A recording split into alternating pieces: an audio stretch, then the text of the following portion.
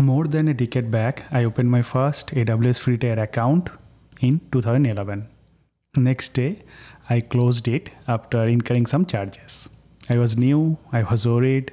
After all, nobody wants to be in this situation. But hands-on is a must for learning AWS well. Next month, I found a workaround and opened an AWS account again and learned a lot without fear. I'm going to share the same here.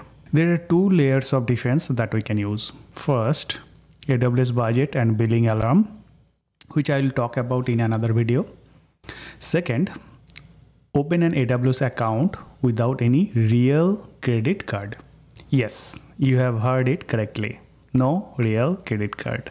But please do not exploit this. AWS is already generous. Let's start.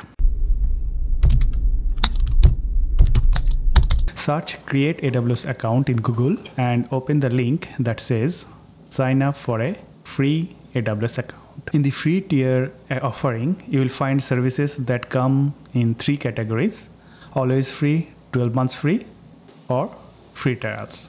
Click the big orange create a free account button to start the signing up process. Provide your email ID and account name of your choice. Click the verify email address button. Verification code will be sent to your inbox. So open your verification email.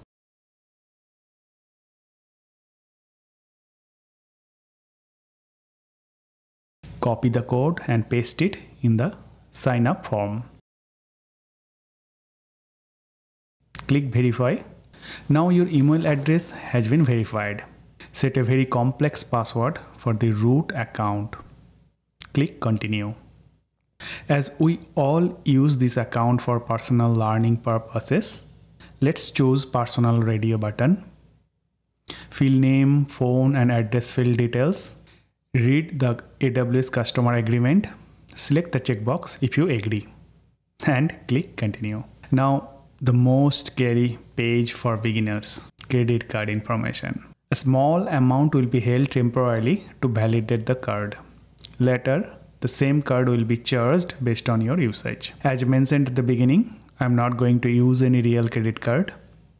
Instead, I will use a virtual credit card. Other cloud providers do not allow prepaid or virtual cards, but AWS is wise, it does. In this demo, I'll use my favorite Koho virtual credit card. I use virtual credit cards for point of sale or online transactions where I do not feel 100% safe to do so.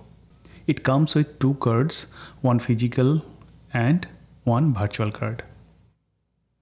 We can instantly lock or unlock both cards using the app.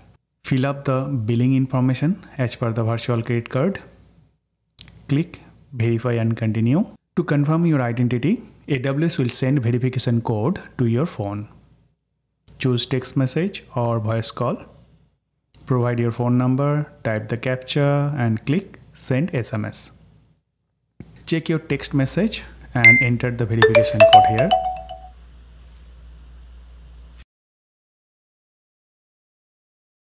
Click continue. As we are getting started with AWS, let's choose basic support free and complete sign up. Congratulations! We have successfully signed up for AWS free tier using a virtual card. Now AWS will send three emails in next few minutes. One welcome email, one AWS basic support sign up confirmation and an email with the subject line your AWS account is ready get started now. As soon as we get this account activation email we are good to start. To verify, open the AWS Management Console, provide root user's email and password to log in, and we have successfully landed in the console home. Happy learning. During my AWS 10x certification, I learned a lot. Here I'll share all those resources that helped me. If you're on the same journey, please consider subscribing to this channel. Thanks for watching.